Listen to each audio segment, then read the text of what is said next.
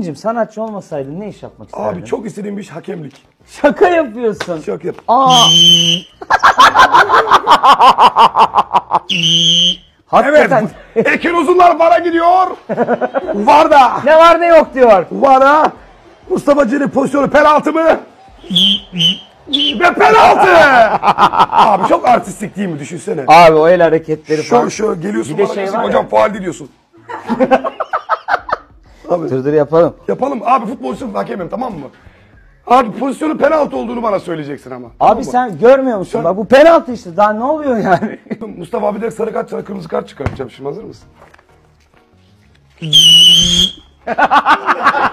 Şöyle yap.